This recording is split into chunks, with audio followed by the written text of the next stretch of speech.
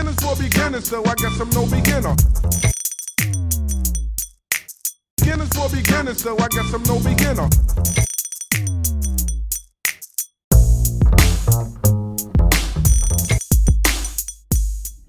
Beats and Sneaks, welcome back to my channel. Yep, today I am reviewing the New Balances again. This one is the Syracuse uh, orange and white New Balances. Another one of my favorites. I'm, I'm loving these New Balance 550s. So here we go. We have an all white, all leather New Balance. The leather is a very thick leather.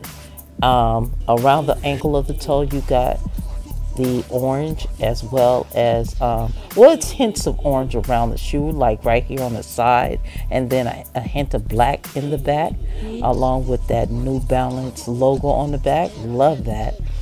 And um, we have this Ortho Light tag that their New Balance is giving us with the instructions of how comfortable it is in the inside of the shoe, which is a plus.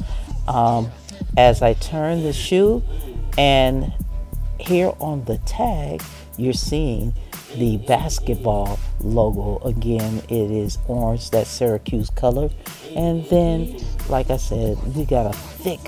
Uh, leather here and then you got the orange 550 on the side with the puffy in on the side as well very durable very comfortable shoe for people of all ages especially if you have uh, feet problems you know so this is a very comfortable uh, shoe it's supposed to be a basketball shoe but i, I wear it for comfort so um, that will conclude uh, my review on the Syracuse New Balances. Remember to like, comment, and subscribe to my channel down below. Uh, it, uh, please also press the like button and uh, subscribe. Please, it helps me out, okay? Remember, beats and sneaks. Peace out.